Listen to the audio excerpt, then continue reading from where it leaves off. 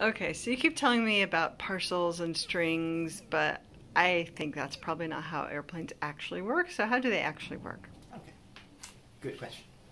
So our job in producing an airplane is basically to make some device in some black box, right? I'm going to draw the black box. And it needs to be an airflow ventilator such that air comes in this way and somehow air comes out this way. I don't care what's in the box. How do we build what's in the box?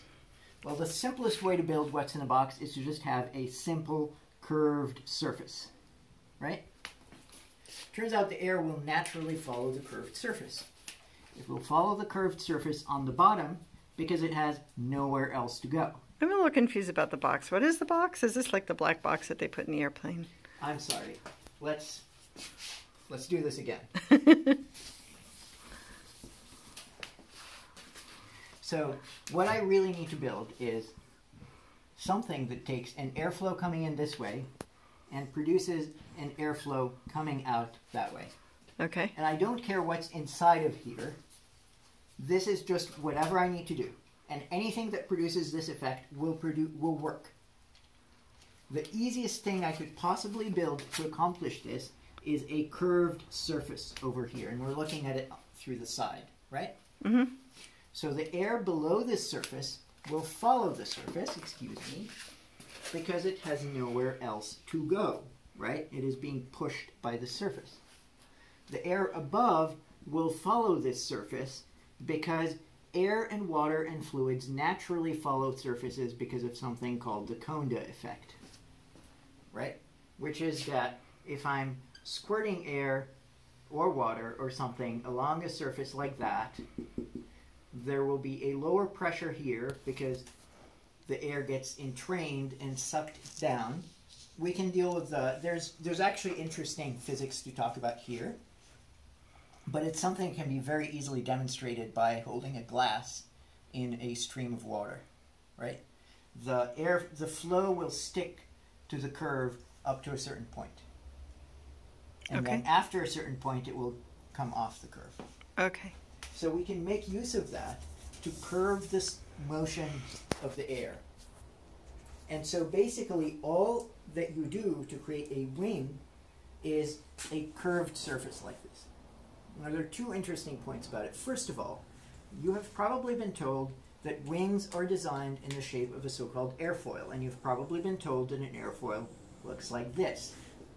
And you might have been told that this is a magic shape. Turns out this is not a magic shape at all. Um, so imagine a fish. In fact, imagine a fish viewed from above. The fish looks like this. It's longer at the back than the front, and it has some fins and some fins over here and little eyes, right? Mm-hmm. Now, this is a very streamlined shape for moving through a fluid, be it water or air or whatever else. As the fluid flies past it, it is cleaving asunder the fluid rather abruptly. Not too abruptly, or the fluid will go zooming off in this direction, but it can cleave it asunder pretty abruptly in order to allow for it to pass. On the other side, it is relying on the fluid being able to follow its profile back and reunite. Why is it relying on that? Because otherwise, it would be producing turbulence where the fluid glances off its side and produces this low pressure area here, which would produce a lot of drag. It's not streamlined. Would that happen if it was going faster or slower, or No, it would happen if this angle were bigger. So if we designed an alternate fish, like a puffer fish? Yeah, well, maybe a puffer fish when it's puffed. Yes. Yeah. If we designed a fish that looks like that, then the fluid would flow past it, and then over here, the fluid would just glance off and create this low pressure area, which would pull the fish backwards. Hmm. So the fish has to, and this angle at which it can rely on the flow to follow it back is more gentle than the angle that it was able to get away with it to cleave the flow apart, right? So the flow comes back nicely this way. And in between, there's a gentle transition, right? Okay. And so this is the basic streamline shape. Some curved shape where the biggest part of it is more to the front than to the back, and with a nice streamline in between. Mm-hmm.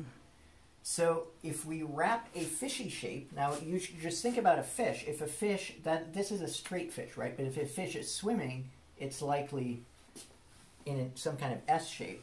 So if you imagine wrapping the fish shape around that S shape, you get this new interesting shape that's produced by the combination of the S shape and the streamline of the fish. In the same way, because our wing has to contain stuff, right? It has to contain beams and struts and whatever to keep it in one piece. It can't be just a piece of cardboard.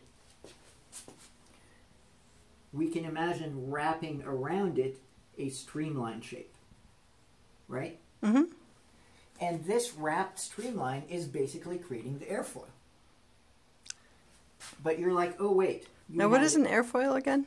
the airfoil is just the shape of a wing, right? It is this very canonical shape that when you cut a wing in half, you get this shape. It's flatter on the bottom than it is on the top, and it's plumper in the front than it is in the back, and it is rounded in the middle. So it's just that shape of the of the cross section of the wing. It's not the whole wing. Exactly. yeah. Okay. And we'll show you an actual wing in a minute. But there's more, right? So remember when we said that as we fly slower, we want to create more circulation. Faster, less circulation. So mm-hmm. how do we do that? Well, one way is when we fly slower, we can reconfigure our wing. We can bend it into a slow wing shape that has more curvature, right? It turns out that that's very difficult to do. Like a an actual flexible wing. That's something that NASA would love to be able to do, but it's right now almost science fiction because it just ends up being complex and heavy. So what we have ended up doing is we just have a compromise shape of a wing with a compromise curve in it, and we merely change the angle at which we move this thing relative to the flow So it's the little flaps, right? when we're moving, nope, not quite. When we're moving slower, we change this angle so that we're at a different angle to the flow. Okay. Um, we'll talk about the flaps in a second. It's actually a very good question. So this angle is called the angle of attack, otherwise known as alpha by the Greek letter. And we change the angle of attack of the wing in order to change circulation. High angle of attack, meaning beating into the air at a high angle, that's what we do when we're slow. Low angle of attack, skimming the air when we're fast. Does that make sense? Mhm. Okay. Now, in order to be able to do that, we can't have a sharp point here, right? Because a sharp pointed thing at an angle to the air, the air is just going to glance off the top. So we have to curve this, the uh, nose of that, and then the air flies smoothly around it at different angles, no matter how you put it into the air. And so, fish plus um, ball nose or or curved nose plus curved surface equals airfoil. Right? Mm-hmm. And this curve that goes down the middle of the airfoil is known as the camber line of the airfoil. Mm-hmm. Now you asked about flaps. Let's talk about that. So it turns out that you can actually build a little bit more circulation into the wing. As you have observed, you have a wing, which is a nice airfoil now, and we're just going to talk about airfoils, right? Because we've demystified them. They're no longer a mystery to us. You can say, well, wait a minute. What if I do this? What if I have a part of it that then comes down and does something like this, right? Mm-hmm. So now, instead of the airflow going straight like that, it then actually comes down even more and creates more circulation. You can do that. You can get away with it. However, it ends up because these are chunks of wings that you hinge out into the airstream, they're not particularly efficient. Hmm. So, in general, and that is generally true, some gliders actually change that generality. But in general, you use these so called high lift devices in specific times like takeoff and landing. But you don't use them when you want high efficiency cruise. During cruise, you rely on your angle of attack to change how your how much circulation you're producing. Okay. And now, um, the next lesson shall be observing an actual wing and seeing how it behaves.